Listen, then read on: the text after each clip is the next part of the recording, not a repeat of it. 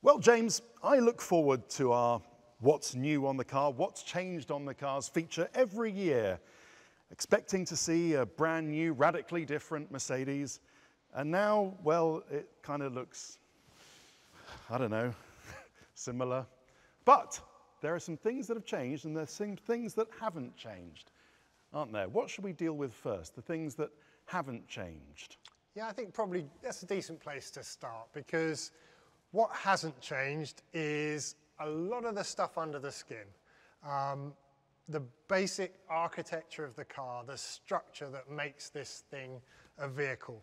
And that was a result of some really quite sensible decisions the sport took last year, knowing that COVID was going to bear down pretty heavily on the teams as they tried to do a conventional new car build.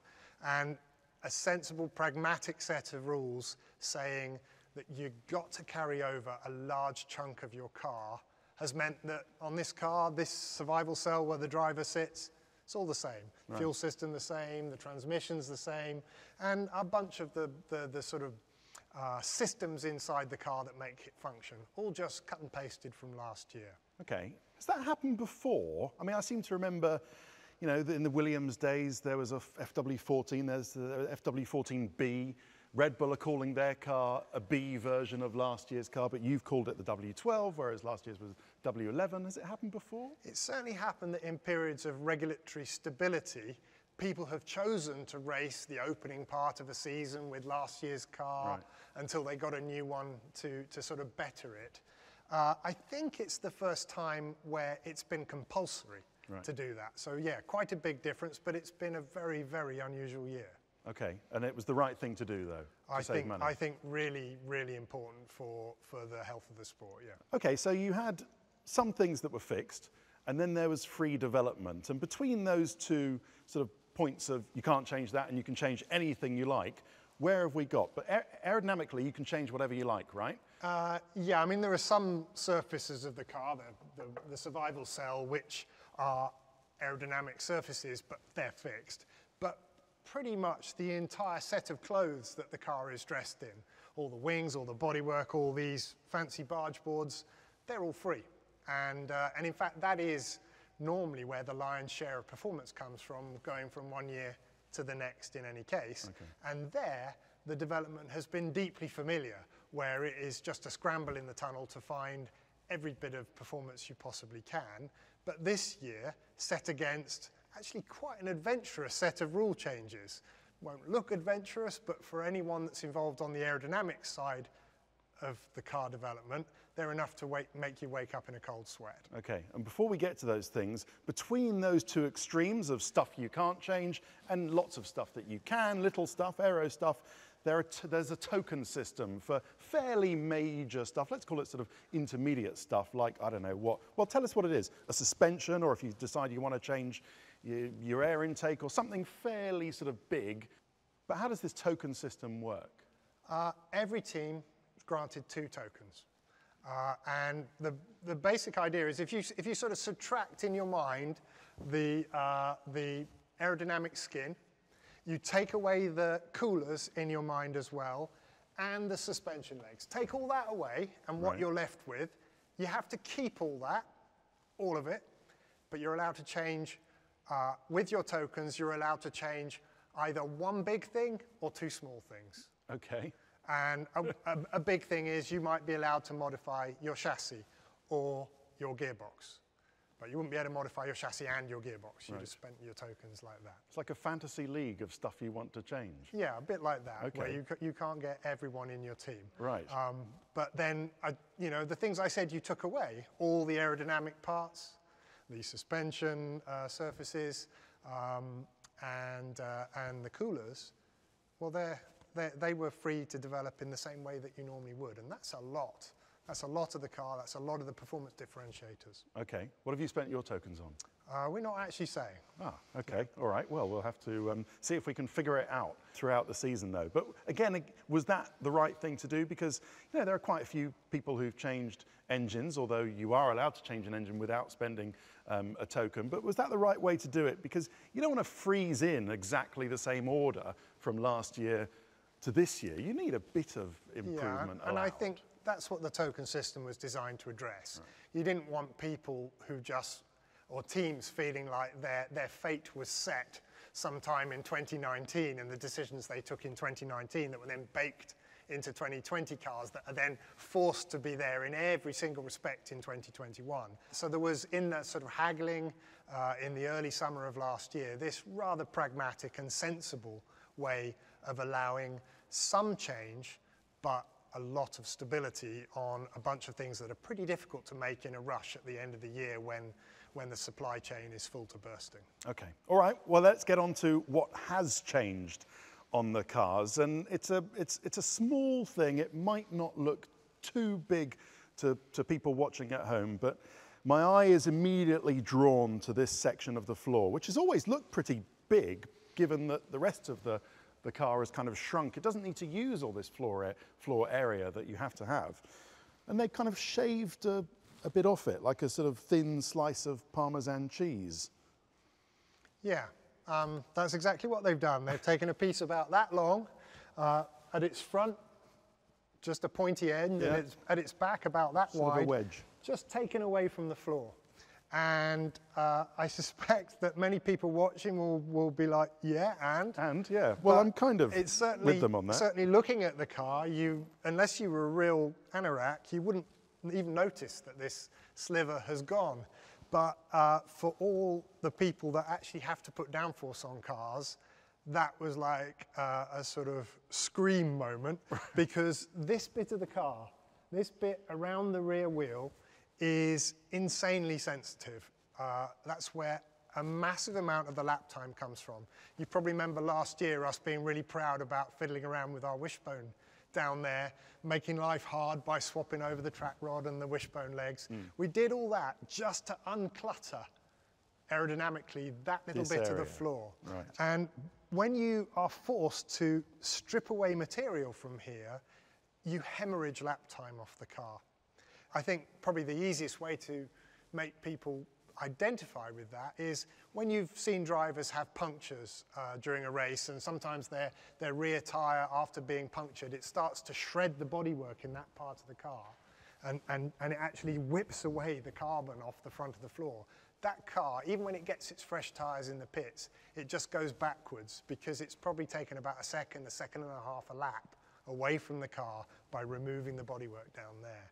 And our challenge over the last few months has been to say, okay, they've really had at a very expensive, a very, very uh, performance-rich part of the car Right. and, and hurt it. Yeah. How do we fiddle around down here with new geometry to try and get that performance back?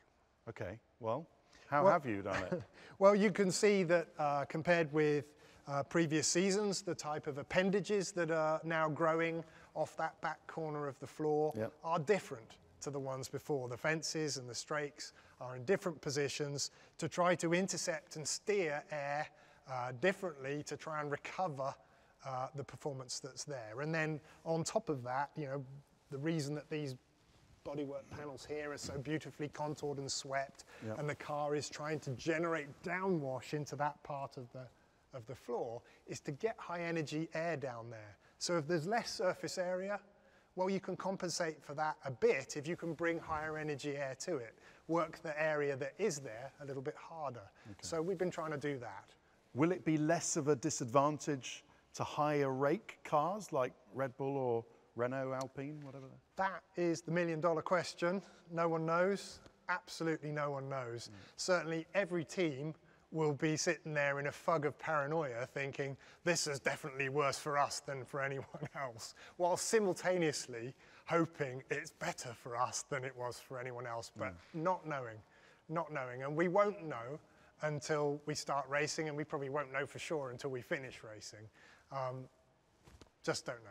And is there anything you can do? So you've lost downforce around here. Does that make the job of the barge boards more important? Have you been able to change any geometry around here? Because this is always a, a ripe area for, for development and Yeah, change. and it's it's stayed every bit as fertile as it ever was. And the fact that all this uh, this um, sort of vandalism, regulatory vandalism, has gone on down in the back corner of the car, doesn't mean that the rest of the car has become irrelevant aerodynamically. The normal job of trying to make your new car better aerodynamically than your old car means covering the car from tip to toe Right. with, with new geometry. And uh, for the people that like looking at this stuff, when they start to compare our barge boards to last year's barge boards, they're going to be suitably pleased by the general level of sort of fractal complexity of these ones compared with their predecessors because every year we find more. Okay. Every year they get fancier and fancier. But that hasn't become much more important compared to that just because you've lost downforce all over. No, no, no. The, the, the, the whole thing has stayed uh, more or less um, the, the animal it used to in terms of where you should put your effort. But necessarily because this was so damaged by regulation, that's where you're going to get your steepest gains from in the first instance. And do you have to take downforce off the front to compensate? Otherwise, you're just going to have an incredibly stuck front and an incredibly loose Uh, well, the, the, the, the front wing is always adjusted so that so you get the yeah. balance where you want the balance. Um, but no, it's not been a particular challenge from that point of view. Probably bigger effect on the balance is things like changing the tyres for next year, Yeah. which have uh, a different need uh, out, of, out of the car than, than the old tyres. Anything else around the back where they've made some changes? Um, people might know that they've reduced the uh, effectiveness of the diffuser by taking away some strakes. Anything? Uh, yeah, there's, we there's, I, we described one of the four changes here. Um, there's a slightly less uh, exciting one at the front there where uh, the front of the floor where there are no longer, you're not any longer allowed to have slots in the front of the floor. Um, and there is uh, two more painful uh, changes at the back. One is on the, the little winglets that sprout out of the, of the rear brake ducts. Right. Uh, So just around the sort of back edge of the sidewall of the rear Yeah, if you're looking if you're looking up the back of the car, Yeah. you can see there's a, a sort of fistful of winglets there, Right. and uh, and those the winglets, the way they interact with Okay. the floor is important for controlling the wake of the rear tire into the car, and uh, and so they were cut back to try and reduce their authority, and then the fences underneath the diffuser, those fences are things that control the rate at which the air expands. We always want to expand the air as much as possible because expanding the air in the, in the diffuser region allows a, a greater suction underneath the car, sucking the car onto the road. Okay. Problem is air doesn't want to expand, it wants to fall off the surface that you're making it expand with. And those fences allow you to control the expansion, they allow you to, to maximize how greedy you can be without the air saying, enough, I'm, I'm just not playing. Mm. And by making the fences smaller, you, you reduce the amount of control that the aerodynamicist has, and they have to back off the amount of work that the floor can do. The downforce drops with it. I understand. I mean, I think people will have a look. I mean, looking at it now, I can tell, yeah, the, the strakes don't come down quite as much, but get, I think people will get used to that. They might notice it the first five seconds. They'll get used to it after about yeah, a I mean, minute. I mean, people, people will. I think visually, they're not. They're going to be entirely underwhelmed by these changes. The interesting thing, of course, is they're big aerodynamically, Right. and are they going to have uh, a change to the competitive order? The question you ask: Are they going to affect a high-rake car more than a low-rake car, or vice versa?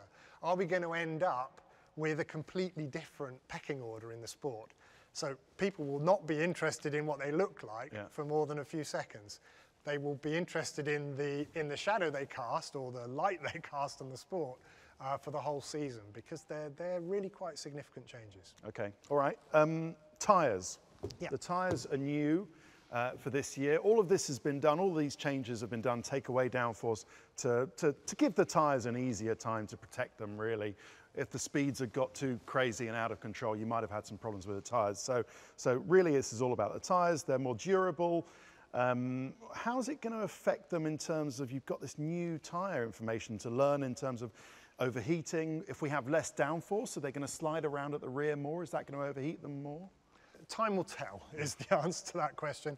We've only seen these tyres in a couple of snapshots last year in free practice sessions where it's not exactly a controlled experiment.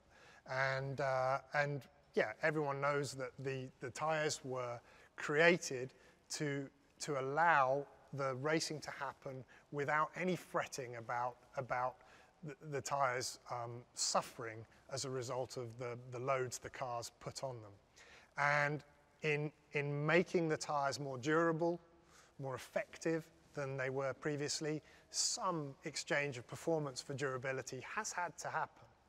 And that, that exchange of performance for durability means that uh, everyone has to learn afresh how to get the best out of rubber that is, is just behaving slightly differently right. to the old rubber. And I think probably uh, there too, there is a performance swing of maybe 0.3, 0.4 of a second between someone that does a good job. Yeah. You know, mostly it's going to affect us all equally, yeah. but doing a good job of it really finding out how to find the sweet spot with the new tyres mm. compared with doing an average job, you're talking about another 0.3, 0.4 of a second. Okay. And if you look at where the grid was last year, that is enough to be a big deal. Yeah. So, so again, I think everyone goes into winter testing, three days only, brand new tyres, brand new aero package, knowing that they've got to do a good job or, or all bets are off. Okay, all right, let's move back towards the front of the car. I can't go further without noticing this huge bulge, uh, relatively speaking, on the side of the engine cover. It looks like a sort of 90, mid-1990s Benetton. What's that there for? That is, uh, that is the sexy power bulge. Um, uh, HPP, uh, in, a, in a world where the engine regs have been stable for really quite a long time, have once again managed to produce a good step forward for us with the, the power unit for this year. And where they've had to plough all their effort into making sure they deliver it for the first race, because unlike in previous seasons, you don't get a sort of phase one, phase two, phase three PU that you can keep making better through the year. Yeah. You have to put all your eggs in that first PU, get it there from the first race. And, uh, and that bulge is just where we have wrapped the skin around an investment that HPP have made in the induction system, uh, tuning the engine differently okay. and, uh, and squeezing a chunk more out of it as okay. a result. Um, moving back towards the front, nice to see you've kept the Niki Lauda star, yeah. red star just yeah. there, good that for means you. a lot to all of us. Okay, you mentioned practice sessions just before. They've been cut from 90 minutes uh, on a Friday each for free practice one and two to 60 minutes. What effect is that going to have? Uh, well, it just it, it's going to increase the jeopardy somewhat. It's going to definitely mean that anyone who stumbles and and and drops a K nut down the front of the car and has to go fishing for it for 10 or 15 minutes is going to regret that uh, because track time is going to be at more of a premium. Um, and tyre learning, you do that in the free practice sessions. So having less of it just means having to be more focused, having to be uh, more careful to use every minute of it uh, to, to, maximum advantage, and also having to get comfortable with the fact that you're using the track when the track is in bad nick. Mm. You know, one of the reasons in that opening session that you don't see a lot happening for quite a while is that everyone wants someone else to go out and clean the track. Well, take half an hour off the session, I think you'll see that uh, everyone will be forced to use the time that is available. Okay, another couple of sort of things on the sporting regulation side. You've got a, there's a budget cap effect, of course, so you've had to, you've had to, to well, save some money. I mean, can you do that? Not spend, stop yourself from spending millions and millions on a car? Does that, does that happen? Well, it has to happen. That's, uh, it's not optional. There is a rule. Yeah. You may not spend more than a fixed amount. And where that fixed amount was before COVID struck the sport was actually set at a level where maybe some of the back of the grid teams might only be able to dream of ever reaching. And the mid grid teams, the, the better off ones, might just be able to scrape up to that, that upper bound, but where the big teams were, were going to have to cut down to meet it. But then in the, uh, the period after COVID hit and a whole bunch of fairly good decisions got taken, the budget cap was lowered from, from 175 down to 145 million. Right. And at that level, well, that's, that's, a, that's a very significant cut. Not just for the top three, but it actually starts hitting a whole chunk of the rest of the grid as well. So it will be really interesting to find out how much of the goodness that we have brought to the track over the last seasons, how much of that was our wallet and how much of that was our skill. Mm. And, uh, and this year and the seasons to come are really going to try that, that out. And we're going to find out for sure whether we can adapt to make sure that every, every penny, euro, dollar we spend is, is spent to best effect in lap time terms. A, a very, very new and interesting challenge. And in fact, it's written already into this car in many ways because one of the things we spent the time doing over the winter mm. on systems that we were not allowed to change because they're carried over was running them on factory rigs to find out actually how long will they live right. if we push them to the very end and then bring it back a safe margin from there and, and, and use that increased mileage to be able to buy fewer of them during the year so that we can keep buying expensive aerodynamic skins and, and upgrading the performance that way. Yeah. Okay. I mean, I, it's one thing, isn't it? Uh, but people might. It's a, it's a good thing to, to, to, save money in Formula One. It's becoming, you know, unsustainable. But to an outsider, it might look like this is um, the sport trying to pin back the dominant team's dominance. And heaven knows Formula One has a glorious history of trying to pin back dominant teams um, to try and open up the competition of the field. But they've done it in another way, haven't they? In making, in, in restricting your aero time in a wind tunnel. So you've got, correct me if I'm wrong, 22% less time in a wind tunnel from this year onwards to develop this car than, say, Williams, who finished the se last season in last position. Yeah, I, I, don't see it in quite those terms. I think the financial thing is just a sensible thing for the sport to do. Uh, and, and it's certainly not, it's not got an arrow aimed at our heart because there were, you know, the, the top three teams, us, Red Bull, Ferrari, us three were spending a lot more money than the next team down. Right. And so this is not like Mercedes alone have been outspending the grid the top three pretty much got the same financial firepower, okay. and it's bringing all of us three down to meet the midfield financially, right. where we can slug it out and see who's best. I don't think there's anything targeted about that. Okay. The, the aerodynamic regulation, the aerodynamic test restrictions, where there is this graded amount you're allowed to use the wind tunnel and your computational aerodynamic computers, where the last place team gets more than the first place team and everyone in between gets, gets uh, an amount in between. Well, yeah, that is a self-conscious, definite attempt to make sure that, uh, that teams that are struggling for performance are given an ability that is fairly cost effective because aerodynamic research is the cheapest performance you're going to get, uh, a fairly cost effective way of allowing them to close up on the front. And, uh, and I think, you know, while we might personally be a bit sore that Ferrari and Red Bull, um, who've got, you know, have always had the same sort of financial firepower as us, are yeah. getting that boost.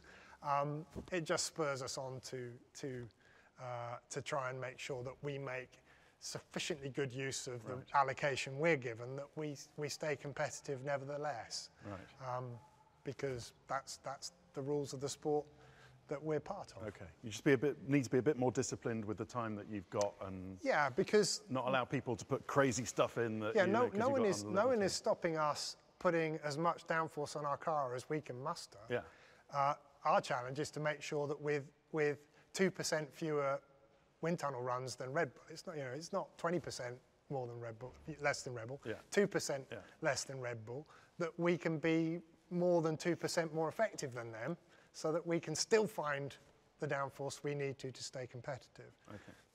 That's a fair challenge. It is, and one I'm sure you'll rise to. Um, let's sum it up then, James. W11 was a championship winner and in some style and by some margin the fastest car uh, throughout 2020, although wasn't in the last race of 2020, that's for sure. That might be because you kind of gave up, you stopped uh, developing last year's car in around what, August? Yeah. So, so how much margin did that car still have? How much uh, that you've been able to put on a development, which is, you know, with all the changes, but it's still a development of W11. How much more has W12 been able to sort of get faster than last year's car?